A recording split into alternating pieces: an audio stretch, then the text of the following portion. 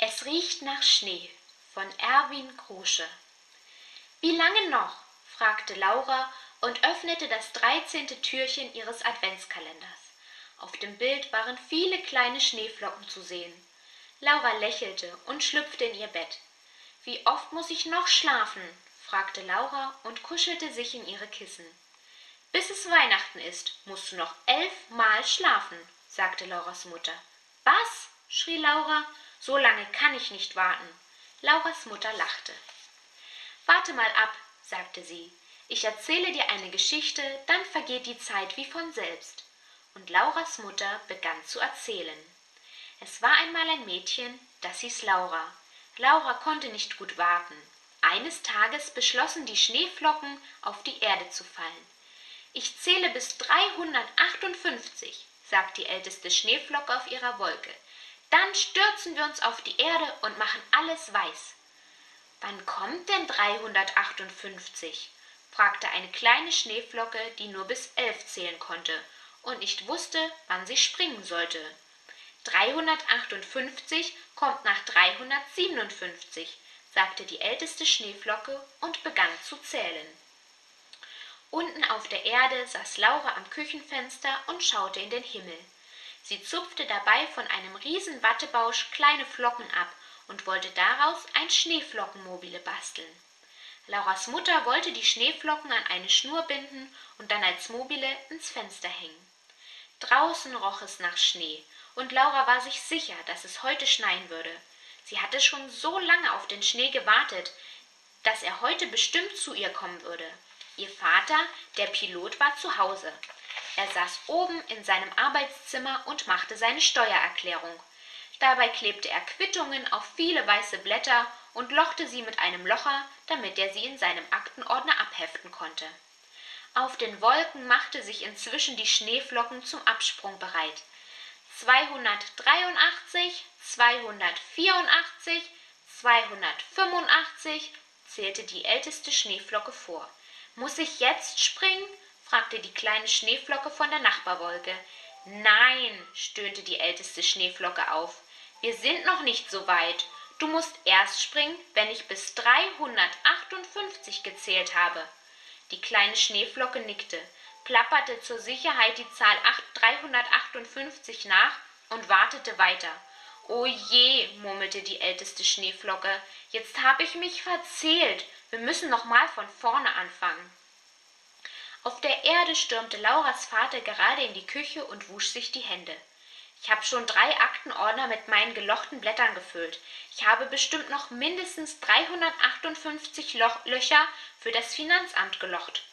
Lass uns doch Schneeflocken zählen, sagte Laura und zupfte ein neues Watteflöckchen für ihr Schneeflockenmobile ab.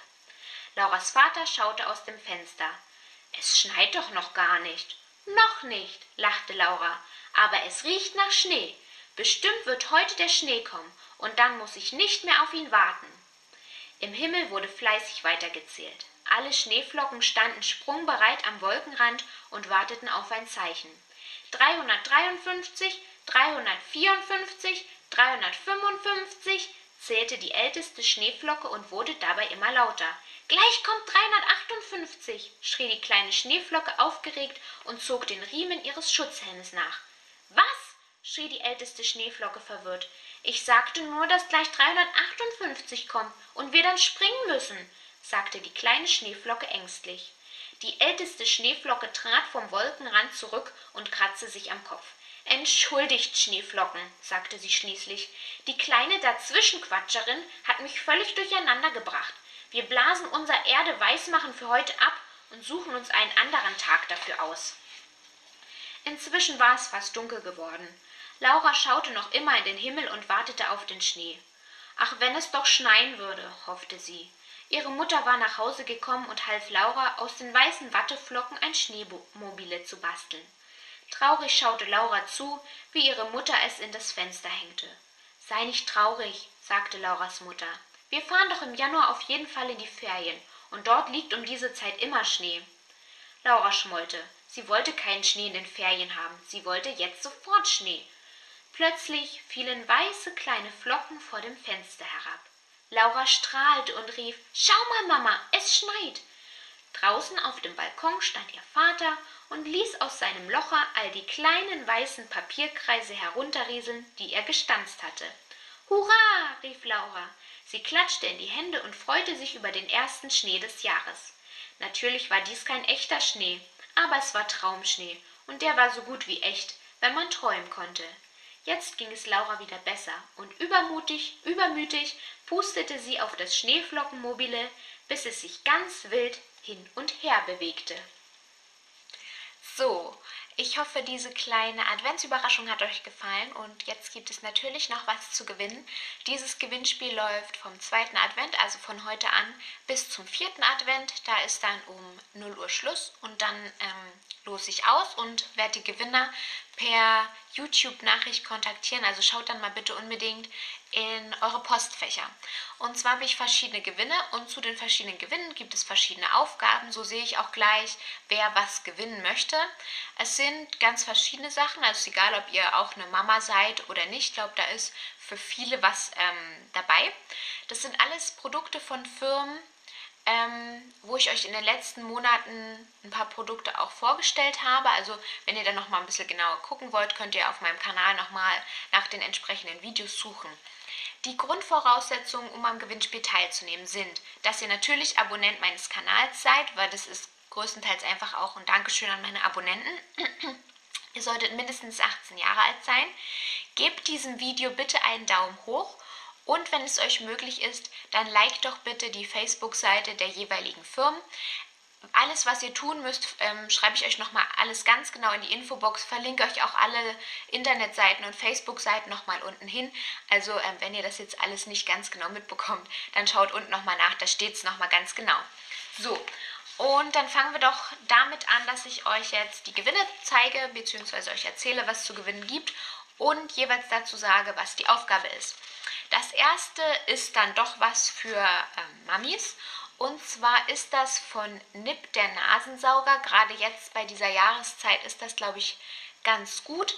Der ist ab ähm, 0 Monaten. Und wer den gewinnen möchte, der schreibt mir bitte unten in den Kommentaren, was euer Babypflegetipp jetzt in der kalten Jahreszeit ist. Ähm, der zweite Gewinn ist ein 25 Euro Gutschein von Wallart. Von Wallart habe ich euch die Dekobuchstaben und ein Wandtattoo vorgestellt. Ihr könnt diese 25 Euro in ein Wandtattoo umsetzen oder vielleicht auch in diese Dekobuchstaben. Da würdet ihr für 25 Euro, glaube ich, fünf Buchstaben bekommen, aber ihr könnt ja selber noch ein bisschen Geld drauflegen. Und hierzu ist die Aufgabe, dass ihr bitte auf meine Facebook-Seite geht, die auch unter dem Video verlinkt ist und schreibt mir dort bitte in den Kommentaren, welcher Teil eurer Wohnung mit einem Wandtattoo oder mit den Deko-Buchstaben verschönert werden soll.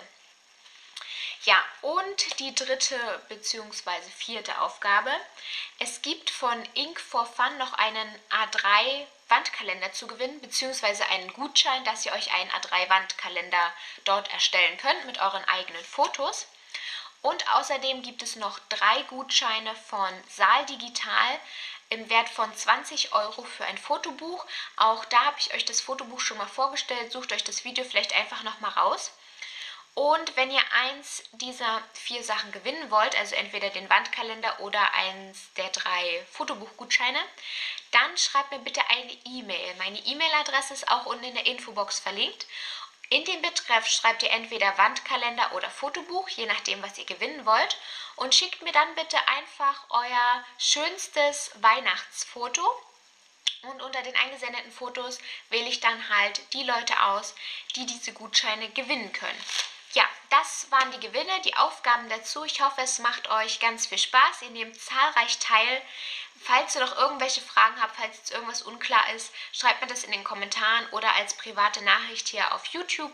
Und ja, dann sehen wir uns ganz bald wieder bei meinem nächsten Video. Bis dahin, tschüss!